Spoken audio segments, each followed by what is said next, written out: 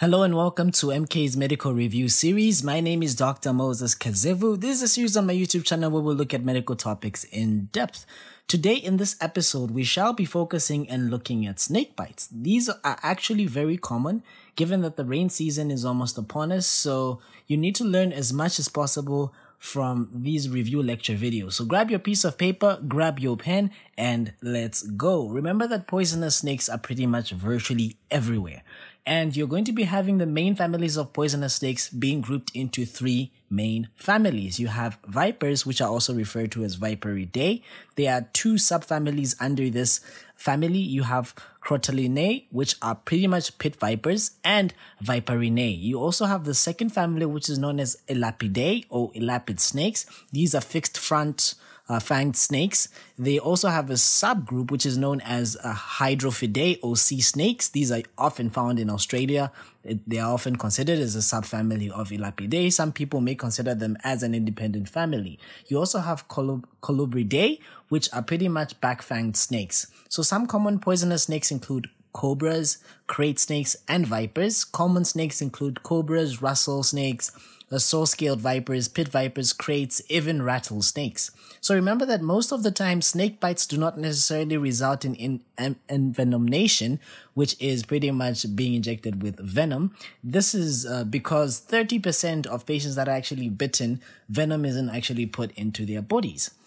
So when we talk about snake venom, remember that it can be classified predominantly into the types of snake venom depending on the actions that they have on the body. You can have hemotoxins or hemotoxic venom. These are pretty much going to be causing hemolysis of red blood cells and they're also going to stimulate the coagulation cascade such that you use up your clotting factors, you use up your platelets, creating what is referred to as a consumptive coagulopathy that may lead to hemorrhage.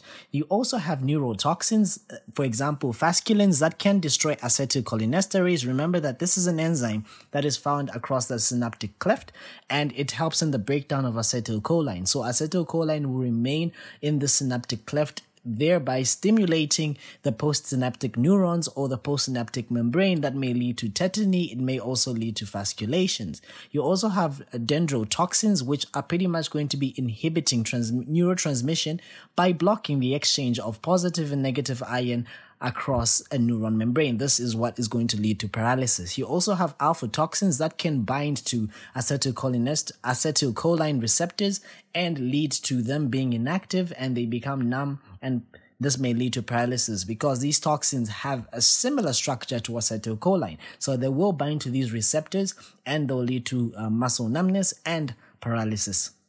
Then you also have neurotoxins. I mean, rather, uh, necrotoxins and cytotoxins. These are pretty much going to be causing damage to the cell membranes. They're also going to be causing damage to the connective tissue. There are certain enzymes that we'll talk about in the pathophysiology of snake bites that are going to be enabling the poison to spread across the tissues and cause extensive necrosis of many cells.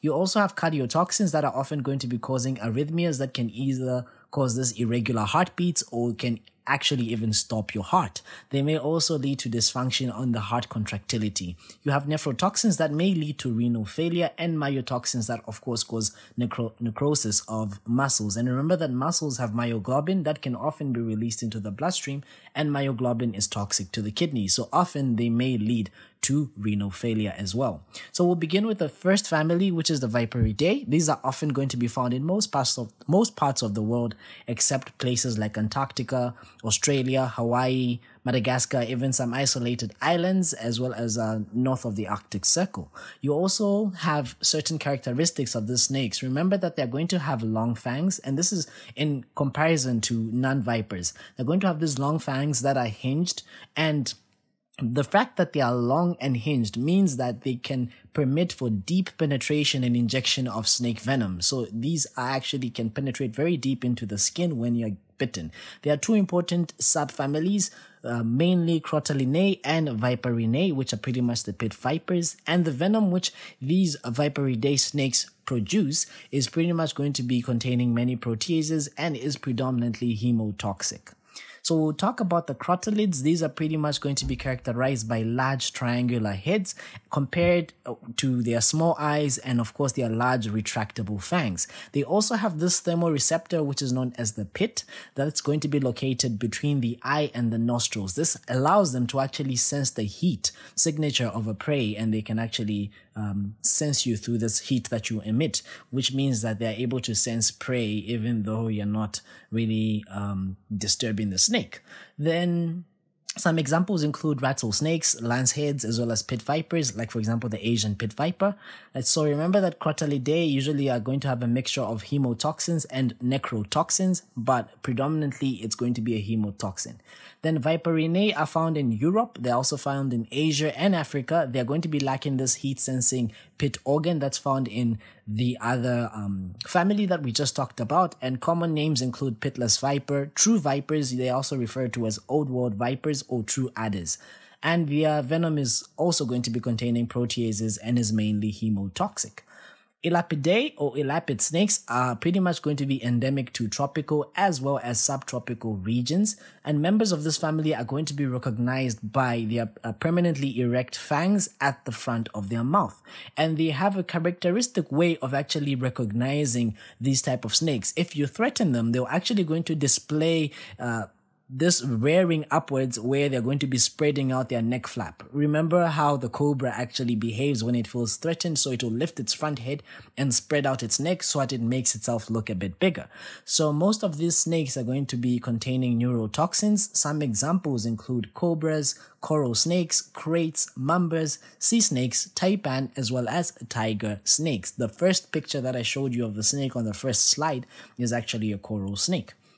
Then you also have Hydrophidae, which is pretty much a subfamily of elapid snakes. It's also referred to as a sea snake. And these are actually adapted to live solely on uh, in water rather, and they're going to have this aquatic life. They are unable to move on land except the genus uh, Laticauda, which is pretty much going to be able to move on land, but not as effective as other uh, land snakes or other terrestrial snakes. Now, these type of snakes are going to have this paddle-like tails, and many of them are laterally compressed, uh, and their bodies are going to appear or give an appearance such that they look like eels. And they are very venomous, but even though they are venomous, most of the bites that result from the snake rarely cause any en- envenomation, which uh, may lead to any fatalities. And mostly the toxins that are present in this type of snakes are neurotoxins and myotoxins. Then Colubridae is pretty much the largest family of snakes. They are found on every continent except the Antarctica, and most of these are not really venomous or they have venom that's not really harmful to humans. However, you get snakes like boomslangs, twig snakes, even Asian genus like uh, rhabdophis, which are pretty much going to be causing human fatalities. Now, when it comes to the pathophysiology of a snake bite, remember that the venom is going to be produced and stored in a pair of glands that's going to be found behind the eye. And this venom is going to be discharged from these hollow fangs that are going to be located on the upper jaw. And depending on the different type of family that you have of the snake, you have different types of fangs. So the fangs can actually grow to a, a very large size of about 20 millimeters in very large rattlesnakes. And the amount of venom that's actually going to be uh, injected into uh, the prey that is bitten is going to depend on the following things. So it's going to depend on the time that has elapsed since the person was last bitten or since the snake bit someone else or bit into prey. It's going to depend on the degree that the snake feels threatened. So if the snake is very threatened, it will inject a lot of venom. If it's not really threatened, not so much venom. The size of the prey, the larger the prey, the more venom is going to be pushed in. And remember that the nostrils of the pits are going to be responding to this heat emission, like we already talked about, of the prey, which enable them to actually, um, vary the amount of venom that's going to be delivering uh, into the snake bites. So if the, the heat signature is very huge, it's going to be pushing in a lot of venom into this prey. And remember that most of the venom is completely mostly water and it's going to be containing many enzymatic proteins that are going to be causing the destructive properties that we see of this snake toxin. So you have proteases, collagenases, arginine, ester, hydrolases that are pretty much going to be found in pit viper venom and these are going to be of course breaking down components that are found in connective tissue. Um, are going to be breaking down collagen, they're going to be breaking down proteins. Even some of these are going to be found in cell membranes. Then you have neurotoxins that are going to be mostly found in coral snake uh, venom. You have hyaluronidases, which are going to be breaking down hyaluronic acid and are going to be disrupting these mucopolysaccharides that are very important in the subcutaneous tissue, very important in the connective tissue. So this actually allows the spread of the venom very quickly through the subcutaneous tissue. You also have venom containing phospholipase A2, which actually plays a major role in the hemolysis that's going to be secondary to this ester esterolytic uh, effect on the red blood cell membranes and is also going to be promoting uh, muscle necrosis. You also have some thrombogenic enzymes that are going to be promoting the formation of a weak fibrin clot, which in turn is going to activate uh, plasmin, and then this is actually going to result in a consumptive coagulopathy because you keep a activating these uh, platelets to uh, activate and form these uh, blood clots and then they are eventually broken down and then eventually you do not have clotting factors you do not have platelets and of course this is going to lead to hemorrhage. Then you also have protease 1 amino acid oxidases that are pretty much implicated in tissue necrosis. So here's a table. So here you have snake venom that's secreted from the snake of uh, from the snake parotid gland and it's going to be containing of peptides which are pretty much going to be causing damage to the endothelium of the blood vessel. This may lead to edema and hypovolemic shock which means that it is very important to give fluids in this patient then some enzymes are also going to be present like protease 1 amino acid oxidase which are going to be causing tissue necrosis hyaluronidase which are going to aid in the spread of the venom through the tissues phospholipase a2 which is going to be causing damage of the red blood cells as well as damage of the muscle so it's myotoxic. And you have other chemicals chemicals that may alter coagulation, platelet function, fibrinolysis, vascular integrity changes, as well as cause disseminated intravascular coagulation, which are all going to culminate in hemorrhagic episodes. Some clinical features may be local or may be systemic, but the most reliable signs of envenomation, I don't know why this word is very difficult for me to pronounce, is severe local pain, you may get swelling, you may get discoloration that's going to be developing within 30 minutes of the bite. If all these things are actually seen when the patient presents, it's most likely that the snake actually put venom into this patient. Then you may get some local effects such as burning pain, you may get edema, you may get erythema, you may get swelling, ecchymosis, even hemorrhagic bulla. You may also get local bleeding, tissue necrosis, ulceration, and to some extent gangrene. Some systemic effects include some neurological manifestations. They may be weakness, perioral um, paresthesia, you may get muscle twitches, you may get shock, you may get bleeding tendencies, pulmonary edema, and respiratory failure, renal failure. You may also get some snakes, such as vipers, affecting multiple organs and soft tissue. Cobras and coral snakes are often neurotoxin then when you're taking a history of a patient that actually has had a snake bite, it is very important to obtain the history from the patient. Most of the times the history is from the patient, not a bystander. And in most of the cases, snake bites are going to be resulting from attempting to handle a snake. Uh, so the genus is usually known of the snake or the person usually knows the type of snake that bit them. In some cases, they may not actually see the snake. Like, for example, if you're walking at night and a snake bites you, you may not actually see.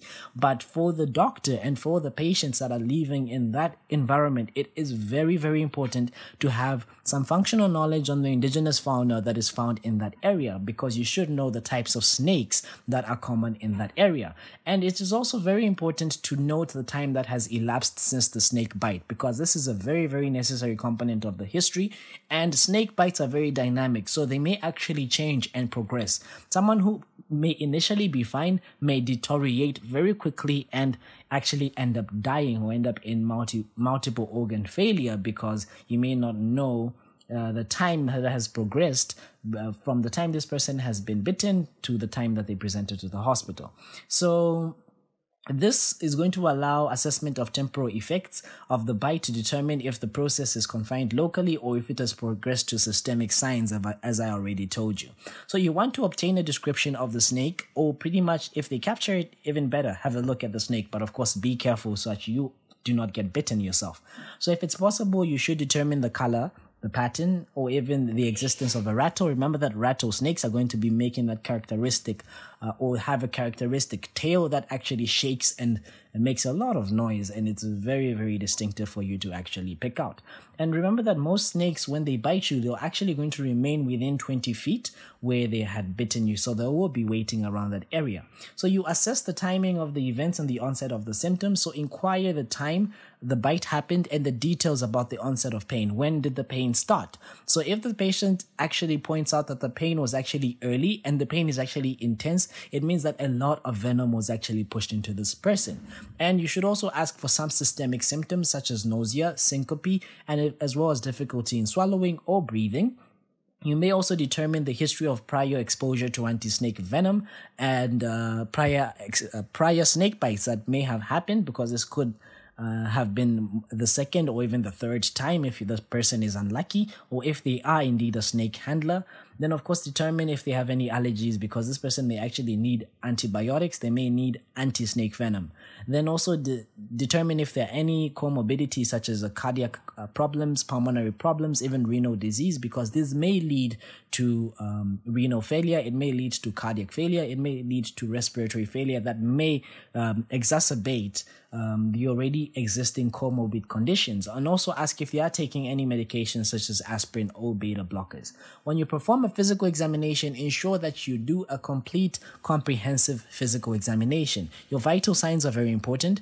You should do your primary survey when they come in. So do your airway, breathing, and circulation. You should determine the fang marks or the scratch marks. And if you are dealing with a coral snake bite, uh, if you want to determine the coral snake bite pattern, you can actually express blood from the suspected wound to actually visualize the pattern of the bite or whether there is a bite or there was just a scratch. Some investigations that you would like to do include things like a full blood count with a differential to give you an idea of the platelet count, the RBC level, and the white blood cell uh, level. Then you may also do blood cross match because this patient may need plasma components. They may need fresh frozen plasma. They may need a blood transfusion. You may also order for some coagulation studies like the bleeding time, clotting time, prothrombin time or INR, and activated partial thromboplastin time.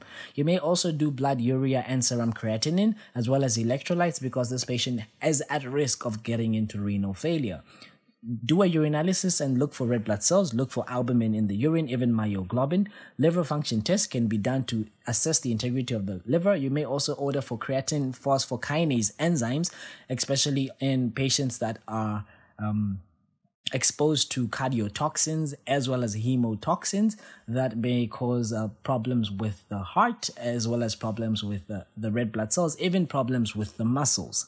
Then you may also want to order arterial blood gases. Uh, you want to check for the oxygen as well as the carbon dioxide partial pressures. Now you should be able to ab- you should be able to grade the level of envenomation um, in this patient. So if you have, you can grade it into three main bits. You have mild, moderate, and severe. So mild is pretty much you're going to be having local pain. You may have edema. You may not have any signs of systemic toxicity, and the, the lab values are going to be normal. Then for moderate uh, envenomation, envenomation, I think that's the right word, and envenomation, I think. You may have severe local pain, edema that's going to be larger than 30 centimeters surrounding the wound, systemic toxicity, including nausea, vomiting, and alteration in the lab values. You may have a hematocrit that is falling, you may have falling platelet values. And then severe uh, type is obviously going to get generalized petechia. You may have ecchymosis, you may have blood tinged sputum, you may have features of hypotension, features of hypoperfusion, that's a delay in capillary refill time, cold peripheries, and of course a, a, very low BP. Then you may also get renal dysfunction. You may have changes in the prothrombin time and changes in the activated partial thromboplastin time, and as well as other abnormal tests that are going to be defining consumptive coagulopathy. Then, when it comes to the management of snake bites, first of all, I'll teach you about the first aid in case a person is bitten outside the hospital or at any other place where you are.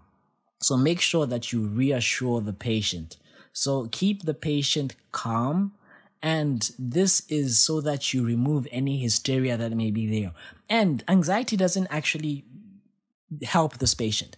Because picture it like this once you're anxious your sympathetic system is kicked into overdrive. Once the sympathetic system is kicked into overdrive your heart starts beating faster. When your heart starts beating faster your blood is spreading much faster to that area and the, the toxin is actually spreading much faster. So you also want to immobilize the patient keep them from walking um, if it's possible, carry the patient, put them on a stretcher because walking is actually going to help the toxin spread much, much faster. You want to do your ABCs, check if the patient's airway is patent, check if the patient is breathing, keep talking to the patient and keeping them calm, distract them from the situation, check if there's any bleeding. If there's any bleeding, compress and ensure that the patient is not uh, bleeding. Then, of course, monitor their vital signs and establish at least one large bore cannula. So, if you're, of course, in the field, you can't do this. But if you're at the hospital, a primary um, care facility, you may actually put in a large bore cannula and start crystalloids. You want to also give oxygen therapy. So, keep a close watch on the airway at all times because this patient may need intubation because they may go into respiratory failure. So negative pressure suctioning devices can offer some benefit if they are used uh, within several minutes of the snake bite. So if the um, um snake bite has actually been hours ago, then there will be no benefit because the poison has already gone. So do not attempt to make any incisions or give any anti-snake venom in the field. Then all the first eight things that you learn on these TV shows, on the survival guides about even in boy scouts are pretty much wrong. So do not make any cuts into the wound. Do not suck out any venom. Do not wrap ice on it. Do not apply a tourniquet because you are not going to do this right. If you make a cut you're pretty much opening it up and there may be infections in um, setting in in that place. And before you actually get to the hospital there's an infection that has set in. If you suck out the venom you may actually um, um, cause the person that is sucking out the venom to be envenomated so it means that this patient may actually be poisoned. Then do not wrap ice uh, to the area. Do not apply a tourniquet because you may not do it right. Then of course immediately transfer this patient to a definitive care facility. So definitive treatment, of course, is going to include reviewing your ABCs. So you should evaluate the patients uh, for signs of shock. So things like tachypnea, tachycardia, dry or pale skin, mental state changes, and even hypotension. And of course, the site of the snake bite must be incised and cleaned with as much normal saline as possible. And I should uh, perform some debridement. If there is some necrotic tissue, cut out the necrotic tissue and if this patient has features of compartment syndrome or features of elevated um, compartmental pressure, like for example, pain that keeps increasing and not responding to the normal conventional analgesia, if there is pulselessness of the limb, if there is, of course, um, pain on passive flexion of um, parts of the limb, then these may be features of compartment syndrome. So a fasciotomy may actually be needed. But this is obviously not done in every snake bites. And then you may also apply a tourniquet. But when you apply a tourniquet, ensure that you do not block the venous supply. You do not block the arterial drainage. You should only block the lymphatic drainage. And usually this is reserved for the snake bite experts because they do know how to apply these lymphatic tourniquets. So I wouldn't actually advocate for them. And then, of course, identify the snake and the patient must be transferred to a proper medical center as early as possible, one that's designated to treat snake bites. And of course, the bite wound should be identified and assessed at this primary uh, care center where they are treating snake bites and of course, grade the venom that has the amount of venom that this patient has been subjected to, whether it's mild, moderate, or severe, because the grading is actually a dynamic process and what you may have gotten at the time the person presented when they were bitten by a snake may actually progress so you may get a mild um, progressing to a moderate, sometimes even progressing to a severe in a matter of minutes, sometimes even in a matter of hours. So you also want to give a poly anti-snake venom. This is usually a combination of anti-snake venom against cobras, kraits, and even vipers. This should be given as early as possible, preferably between the first 4 to 20 four hours and the dose is about 20 to 150 mils depending on the type the severity and the age of the individual. Generally children get the same doses as adults. Then you can actually dissolve this in normal saline and actually give it as an infusion of about 500 mils of normal saline to run at 20 drops per minute. And of course if the snake has been identified you can give a monovalent snake um, serum, which is actually much more potent because it's only targeted against that specific snake. You may also give uh, preferred agents against crotalids, which is known as Crofab or Crofad, or which is actually several vials that you can give that are usually needed. You also want to uh, give tetanus prophylaxis to prevent tetanus, so 0.5 mils of ATT uh, intramuscular. You want to give your IV fluids. You want to perform blood transfusions and a transfusion of plasma if necessary. Cover this patient on antibiotics. So generally, third generation cephalosporins such as ceftriaxone are more effective, especially on the gram-negative organisms. You want to catheterize this patient and monitor your urine output. You also want to be um, regularly checking their blood urea, creatinine, bleeding time, and clotting time. And of course, in cobra bites, they may lead to neuromuscular blockade and paralysis. So you may actually give neostigmine 0.5 milligrams IV every uh, half hourly, so every 30 minutes, and then you can repeat this if necessary. And you're also going to be given this along with 0.6 milligrams of atropine. So in viper bites, DIC is very common. So you want to also give heparin about 10,000 to about 15,000 units as a loading dose. And then you can later give 5,000 units as a maintenance dose three times a day. And you may also want to give human fibrinogen in cases where it's necessary, where you have a consumptive coagulopathy and low levels of fibrinogen in this patient. Complications of snake bite may be local, such as infections, skin loss, cellulitis, gangrene of the part, compartment syndrome, especially with pit viper snakes. And then you may also have cardiovascular and hematological complications such as deep venous thrombosis, pancytopenia, disseminated intravascular coagulation, hemorrhage. You may have pulmonary collapse, septicemia, renal failure, Marjolin's ulcers, and of course, antivenom uh, associated complications such as anaphylaxis, which is referred to as type 1 hypersensitivity, and serum sickness, which is referred to as a type 3 hypersensitivity. I really hope you enjoyed learning about snake bites and the next time you see them on the wards or you meet a patient that has been bitten by a snake, you will know exactly what to do and how to save this patient's life. Thank you for listening to this review lecture video. Tell a friend to tell a friend to subscribe to the channel. Drop a like if you haven't. Hit the bell notification icon to be receiving notifications every time I post such videos. Drop a comment, share the page, show some support to Zambia and beyond. My name is Dr. Moses.